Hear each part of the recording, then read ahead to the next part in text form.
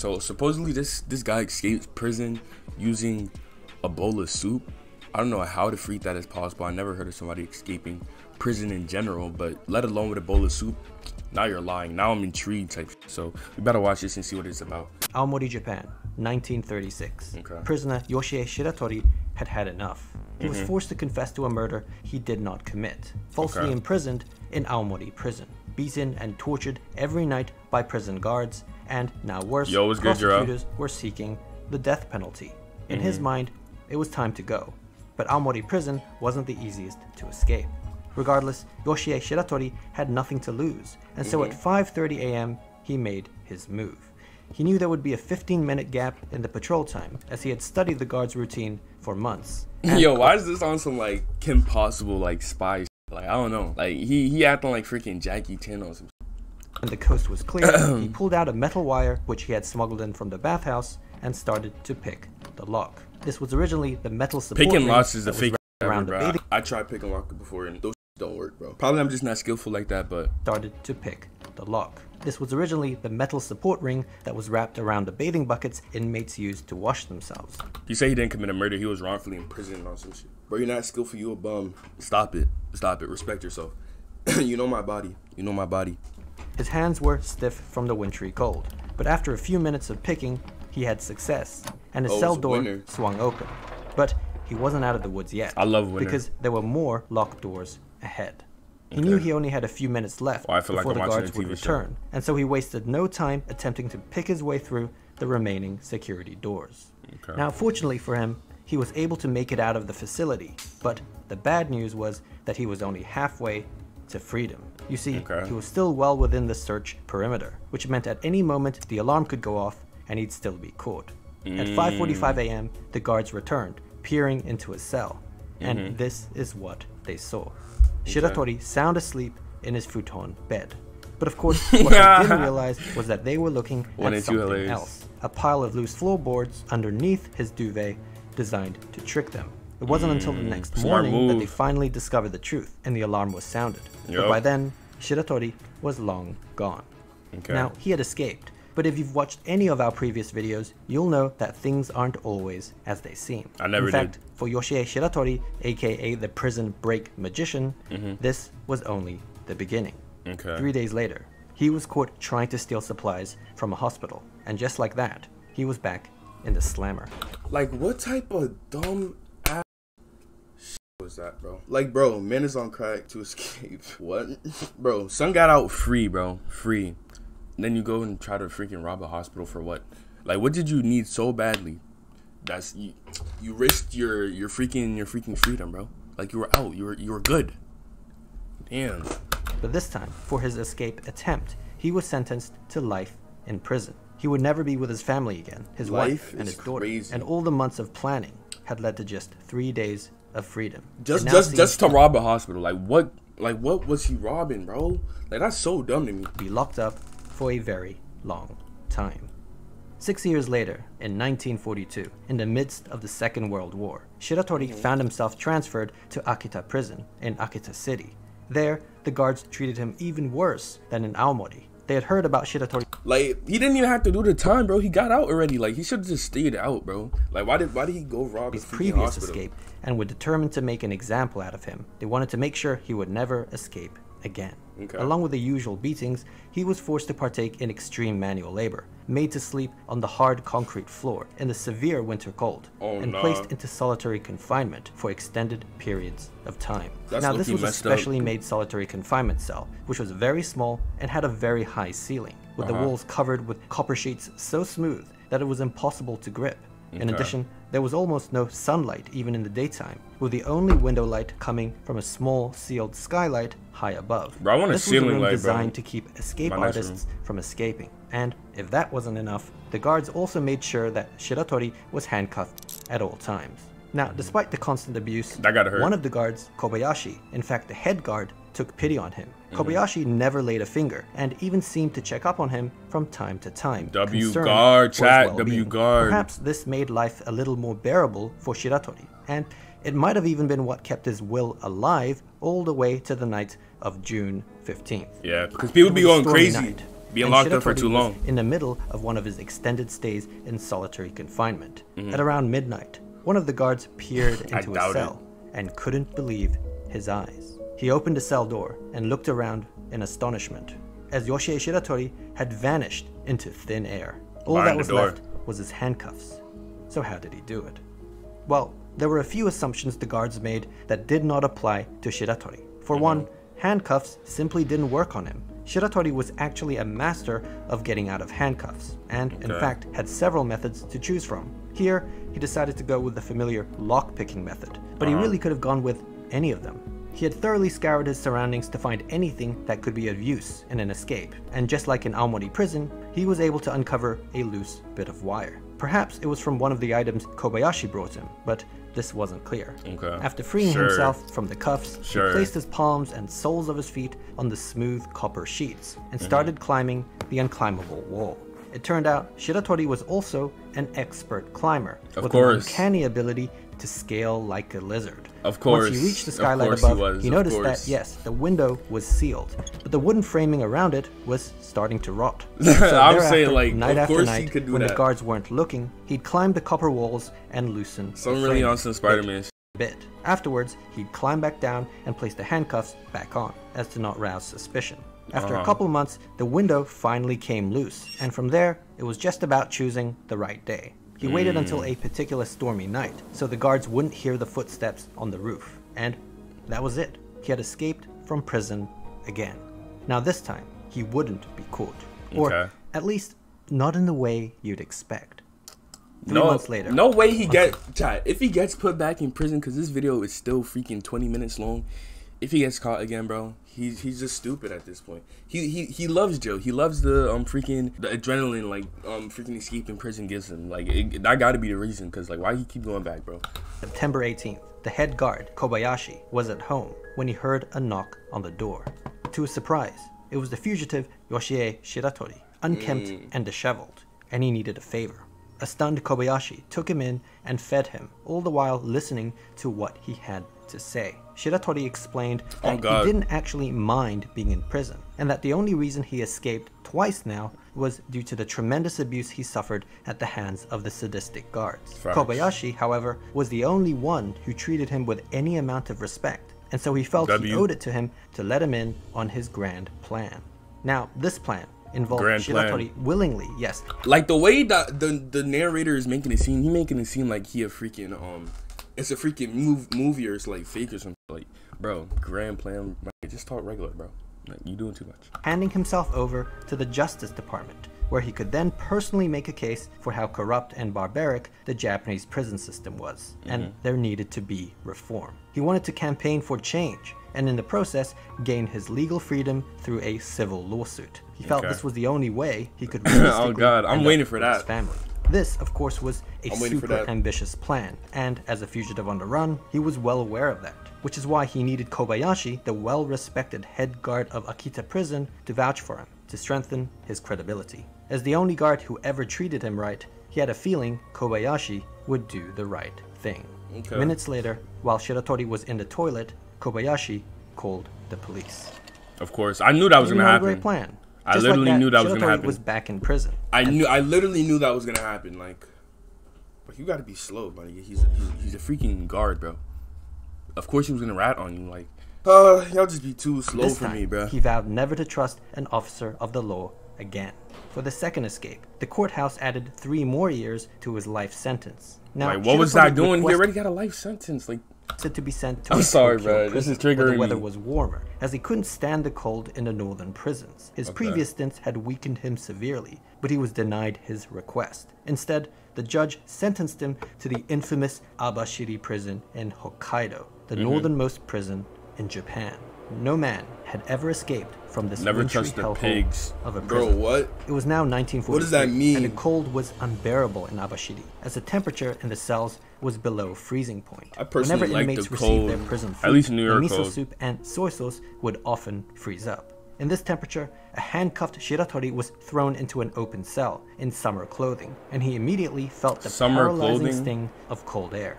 Perhaps in a fit of desperation, he tried to force himself past the guards, but they were able to push him back and beat him down. An enraged and defiant Shiratori stood back up and vowed that he would escape from Abashiri prison, like mm-hmm. he's always done, and that there was nothing they could do about it. Mm-hmm. In fact, he claimed there was little point even putting handcuffs on him, as he'd always find a way to break free. If That's not it. by lockpicking, then, well, this.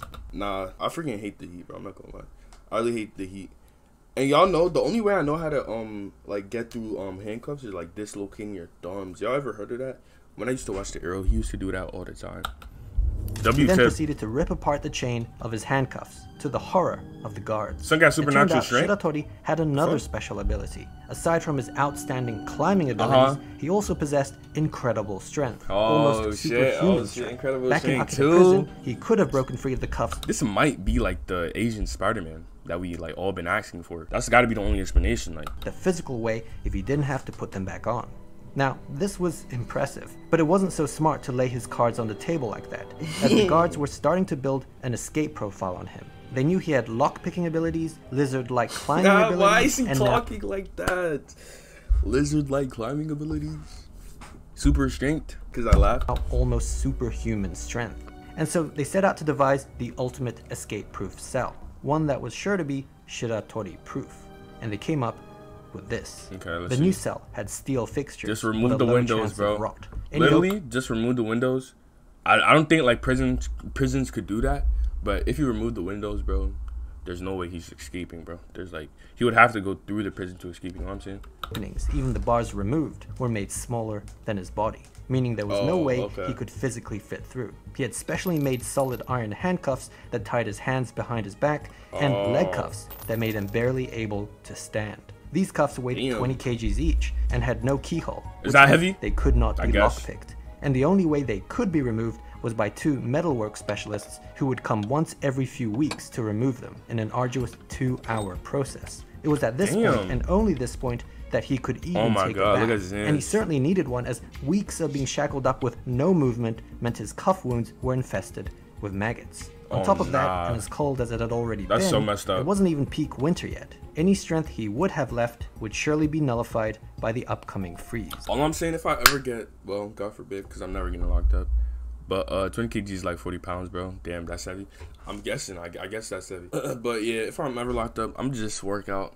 Work out. I heard working out like keeps the mind off, I mean, keeps the mind off stop. I'm never gonna locked up though. I'm just saying like, in jail, I feel like that's that's like the best time to get your body right. You feel me? Like to look good and shit. Though just in case, they still made sure to cut his already meager food portions in half. And so Oh, that was nah. it. Even That's for so this was too much. As winter came, he succumbed They to his dick, fate. I'm not gonna lie. Every day, the guards would slide his meal through the opening, and he'd be forced to grovel like a dog. His hand and leg cuffs made every action awkward and uncomfortable, with even sleeping being a pain. There was no doubt life in Abashiri prison was absolute torture. Word. Now, fast forward. Shiratori was somehow able to survive through the winter, and Okay. spring was coming. This meant he was starting to get his strength back. But still, what could he really do? He was literally in a bind.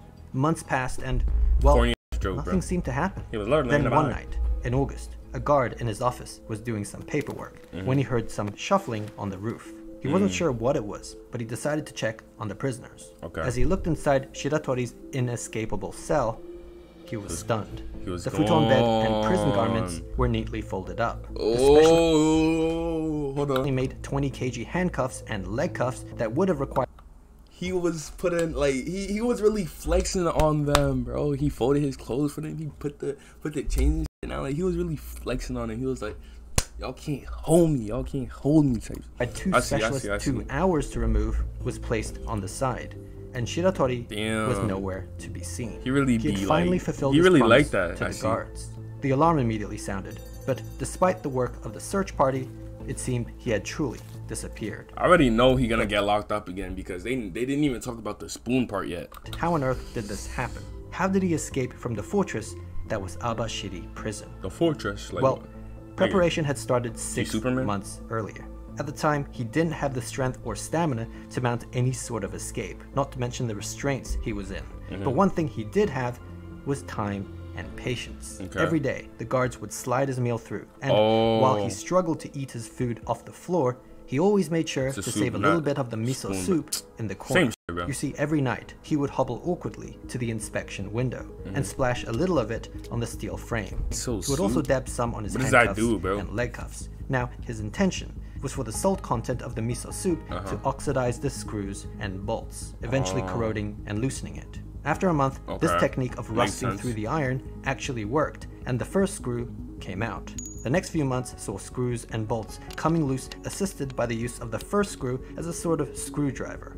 By the end of mm. spring, he was able to fully remove his handcuffs and leg cuffs, as well as the steel frame of the inspection window. But there was a problem. The size of the opening was smaller than his body, which meant he do he couldn't fit through. A contingency thought out by the guards. Mm-hmm. What they didn't account for, though, was Shiratori's fourth ability, which involved being able to dislocate his joints at will. Like, why are they just gassing this man up, making him seem like a superhero on some shit? Like, he's just a regular human. His fourth ability, like, man, this narrator funny as hell, bro. With this, he was now able to slide through the opening like a caterpillar. This repertoire of skills, thus surely making him an honorary member of the X. With that, he climbed through a broken window in the roof. What is a mythical creature? Oh, Impressively, Shiratori had now escaped from Hey, three tentacles. prisons, as well as being the only man to ever escape God. Abashi Three prisons prison. is crazy. Now, good on him for escaping, but It's flight. It gotta be. It gotta be. Or he probably got like one punch man abilities and he could like make himself rubbery. How I'm feeling? I'm feeling good. How was your day? One out of ten. One out of ten. Let's know. this was northern Hokkaido, and the only direction he could have gone to was the cold, snowy mountains. Okay. Actually, the prison guards felt that they had the last laugh, because if the cold didn't get him, the mountain bears certainly would. Despite Mm, this likelihood, there was one person who stayed hopeful, and that was Shiratori's wife. Five. YouTube joined the streams. It's fun, bro. For real though. wife. Mm-hmm. But she was still worried because even if he was alive, she knew he Mm. wouldn't be able to make it back to his family as, I see. as the authorities would be constantly on his tail, Mm-hmm. which is why she was desperately and secretly hoping that Japan would lose the war, as that would enable the Oh. US to take over the country, meaning everyone would likely forget about her husband. Of course, Mm, I doubt she it. kept this to herself. But then, a year Why would they later, forget about in August 1945, she got her wish. I never heard of that roller coaster. They lost the war. That was Japan, bro. Well, wait, wait, wait.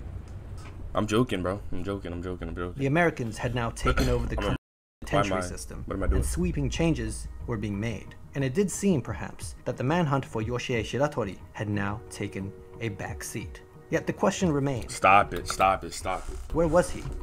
And was he even alive?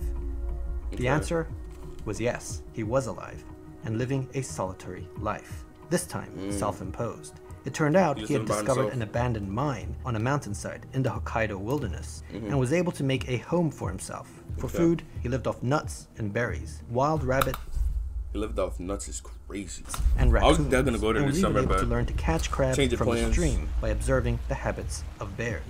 Life was steady and safe, but Mm-hmm. After a while, curiosity got the better of him. and so, Mm, after two years of isolation, he made his way down the mountain to a nearby village. What he saw astounded him. The streets were filled with signs written in English. The posters and flags, emblematic of the war effort, had vanished. And even more strange, young Japanese girls were holding hands with American soldiers. What on earth was going on? He grabbed a newspaper that had been set aside, flipped through the pages, and it was only then that he found out about the atomic bombs Hiroshima and Nagasaki. Japan had surrendered the previous year, and he couldn't believe it. As with his wife, he felt it was now pointless to hide. Bro, what are and so bid about? farewell to his old hunter-gatherer lifestyle. He headed south of Abashiri for the next 50 days until he reached the city of Sapporo. Oh, At Oh, this no. point, he was starving, so he found himself a nice ripe tomato from a nearby field, which was a huge mistake. If you eat tomatoes, tomatoes, like narrator got me talking different. If you eat tomatoes, you're weird as hell, bro. Tomatoes are probably one of the worst vegetables ever. Freaking hate tomatoes with a passion, bro. A farmer had spotted him and mistook him for a well known local thief, which led to a scuffle, resulting in the farmer's abdomen being pierced by a blade. Sadly, he bled out and died. Oh, but not before. Shiratori was arrested for the crime. It wasn't long until police found out that they in fact had the oh infamous. Oh my god, he just keep getting arrested. Like I really want the best for him, and he just keeps selling. He just keeps selling. What is good with this man? He just is attracted to prison on some. Shit. Tomatoes are mid. Tomatoes are definitely mid, bro. I hate tomatoes. Yoshie Shiratori in their custody. For his multiple escapes and having now murdered the farmer, despite his claims of self defense, he was sentenced to death Oh, by the nah. district court of Sapporo. And in 1947, he Oh, was sent nah. to Sapporo prison to await execution. Okay. Now, to ensure he wouldn't escape this time while on death row, Uh-huh. he was placed under 24 hour surveillance with six I wouldn't be surprised if Kenny gets arrested one day if the fame gets him. Stop it. Stop it. Me arrested. If I ever get arrested, it's gonna be on some BS. It's not gonna be my fault for sure. Like I literally don't do anything but stream. What am I gonna get arrested for? Looking too good? Looking too good, chat? That's understandable. Six armed guards personally assigned to his watch. As for the cell itself, it was upgraded further from the one in Abashiri prison, with reinforced doors, ceilings, two windows. bars, windows. In fact, any openings were made smaller than the size of his head, not just his body, learning from the Abashiri escape. As while he may be able to dislocate his joints, Mm-hmm. That's of his certainly abilities, dislocate his skull, as long as his No for taking on my. Maybe, but they wouldn't even arrest me for that. But he gonna get arrested because he's black. I'm jacking tentacles is racist. Like, no way you just said that. head can't fit, they were good. The six guards were so confident, in fact, that they didn't even bother cuffing him. Now, Shiratori was getting old, Oh, nah. and the odds of escaping by this point were looking slim. As his execution loomed near, there was little he could really do, and the Mm-hmm. guards knew that. They could see the desperation on his face, looking up, Stop it. It's not kidnapping if they want to be with me, bro. Searching for an escape plan that they knew would never come. Though, still, just in case, they made sure to search his room every night while he was taking a bath in the bathhouse, inspecting the ceiling, skylight, and any other openings. A month passed, and winter was now coming, weakening him further. And I guess, but bro, that's like saying I don't have an analogy for you right now, but still, I don't know. That's questionable though. That's and the questionable. say. realization was starting to dawn on him. He grew increasingly despondent, staying in bed, refusing to wake up, mm-hmm. despite the orders of the guards. This went on for a while until one morning the guards had enough and entered the cell to discipline him. They mm. flipped over the duvet and Okay, he was gone. This was like he really a magician on some. It's not racist, I guess. Loki is bum. Tentacles. I wouldn't take that. I wouldn't take that. How did he do it this time? Going back to when he was first placed under 24 hour surveillance Uh-huh. with the six armed guards personally assigned to his watch, he had in fact conditioned them to look up and keep up from the very start. Not just because his previous escape attempts involved climbing through skylight windows on ceilings, but also his suspicious yet, as it turned out, very intentional behavior of constantly looking up to figure out an escape plan. Little did they know, it was all an act, and that he already had one, but it would be taking place precisely where they weren't looking. you see, it turned out the Below, authorities were so concerned with him escaping through a window or skylight Mm. that they neglected to reinforce the bottom. This ironically ended up being his easiest and simplest escape because all he had to do was remove the bolted floorboards, Uh-huh. which wasn't easy, but he had experience. he use a and spoon, a- using a random spoon to cutlery dig? and a miso soup bowl, dig his way to freedom. Oh, this took over a month, and he was able to hide his activities due to A, the guards not suspecting this approach, Uh-huh. and B, the His floorboard bag. panels being put back in place every night after digging. The six guards Oh, thought they were keeping a good eye on him, even at night. But with the hole consistently positioned underneath the futon and duvet, and it increasingly becoming the norm to refuse the orders of the guards to wake But up, the guards gotta be slow though. Like y'all gotta think of like every possible escape route, not only the ceiling. But I guess, I guess, and I thought like Asians were supposed to be smart as hell. People lied, I guess. Where the f- did he put the dirt? That is a good question. question. nothing seemed out of the ordinary. Placing a pile of loose floorboards underneath the duvet to trick them they tell us. was also a callback to his first prison escape in Aomori. So he had now escaped from prison four times, and by this point, No way he the gets story is put in starting jail to again, get right, chat? No way. But this perpetual cycle of capture and escape, capture and escape was about to end because a year later, in 1948, Don't me. Shiratori was exhausted. He was in- Shiratori, Shiratori. Let's see, right? Shiratori. because a year later, in 1948, Shiratori was exhausted. He was in his 40s now, and this was a young man's game. One day, in the Kotoni neighborhood, still in Sapporo, as he stopped to rest, Mm-hmm. a policeman just happened to sit by his side for a smoke. He didn't know who Shiratori was, but he struck up a conversation with him. Shiratori, of course, was wary of his presence and tried to play it cool, all the while attempting to figure out a way to remove himself from the situation without being suspicious. Mm-hmm. Suddenly, the Now there was one time I was on the train and this freaking it was this weird guy. He was telling me his whole life story. Like I don't know why people in New York tend to do that. policeman did something unexpected. I guess it at least real. to Yo, him. shut- shut he up, pulled Chad. out another cigarette and offered it to him. Shiratori was stunned. You see, cigarettes were expensive luxury items in Japan at the time, and the fact that someone offered it to him just out of the kindness It was expensive to get something that can literally possibly like affect your health. Okay. of his heart brought tears to his eyes. Not to mention, all his life he had been abused and mistreated by officers of the law, with Okay. even the head guard Kobayashi turning his back on him. And here was an instance of an officer treating him kindly, with respect, and For with real. no prejudgment. I guarantee you, bro, if he knew who you, who you were, bro, he would have locked you up. Like the only reason he being nice to you is because he doesn't know you. He just thinks you're a park random, bro. If he knew you who you were, bro, you would have been in chains like in an instant, bro. As he smoked the cigarette, Shiratori couldn't help but tell the officer his full name, Yoshie Shiratori, Oh, and that okay. he had escaped from Sapporo prison Uh-huh. last year. In fact, he had escaped from Bad prison move. four times in his life.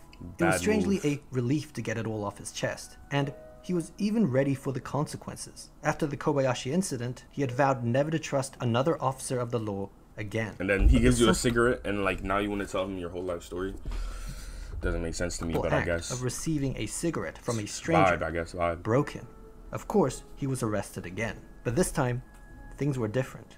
Maybe it was the fact that he willingly gave himself up, mm-hmm. or that Japan's justice system was going through a change. But the High Court of Sapporo became sympathetic to Shiratori's plight, and some of his past claims were recognized, uh-huh. such as acknowledging the farmer's death as a legitimate case of self defense. They Yeah. also made note that throughout all four of his prison escapes, he didn't kill or injure a single guard, despite the abuse he may have suffered at their hands. At the end of the deliberation, the High Court dismissed the murder charge, revoking his death sentence, and Mm-hmm. instead sentenced him to just 20 years in prison. Yeah, he- Further, they approved his request up. to be transferred to a Tokyo prison, where the weather was warmer. Mm-hmm. He was getting what he wanted.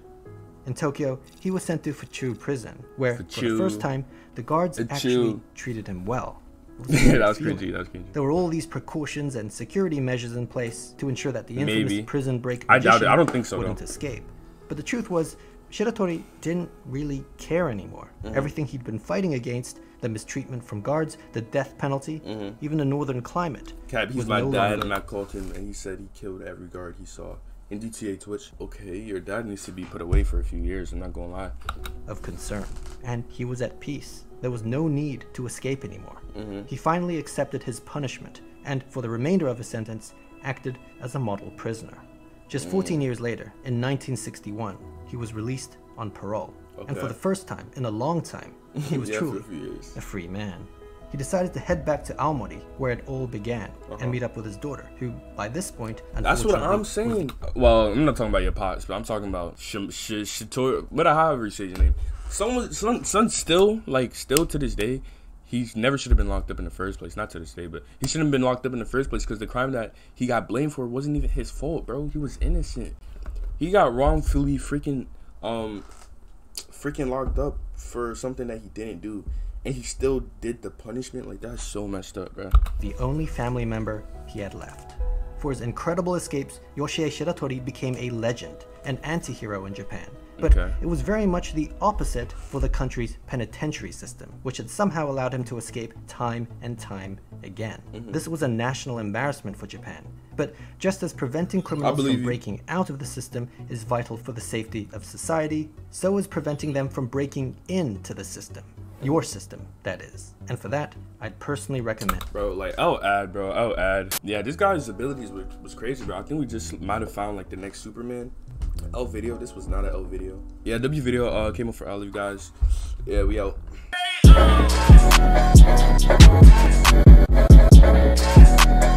Hey.